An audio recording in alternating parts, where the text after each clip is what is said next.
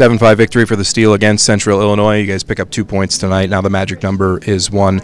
Um, obviously trailing at the second intermission. What was the focus going into the third period? Oh, we knew we had a power play to start, so uh, we wanted our power play to capitalize, and they did. I thought it was important. We got out and got to a good start. But this team's been a third period team all year. There's a lot of fight in that locker room and a lot of perseverance, and uh, we struck early, and unfortunately they came back and got one right back. And again, we showed how resilient we are and, and our firepower. I mean, we can score, uh, so we were pretty confident, and it was just effort, energy, and willingness to find a way to win. Of course, uh, 12 combined goals, kind of a, a, back and forth game. Now a rematch tomorrow night. Uh, one is the magic number. No help from Des Moines here tonight, um, but controlling your own destiny going into the final game. How big is that?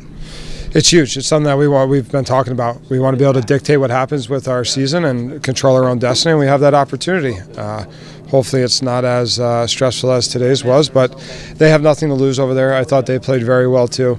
Um, you know they have offensive firepower and they have some guys on their team that can play. So it's going to be a tough. It's going to be a tough game on the road. You know they're just going to say, hey, let's try and win our last one here at home and ruin our season and build for their next season and feel good about themselves as the season ends. So it's going to be an uphill battle for our guys and uh, it's going to be a tough test. Obviously, seven goals, tons of points for this team tonight. But uh, that line with Mastrosimone, Abruzzese, and Dugan putting up a combined eight points tonight. Can you just talk about the chemistry you saw from those three?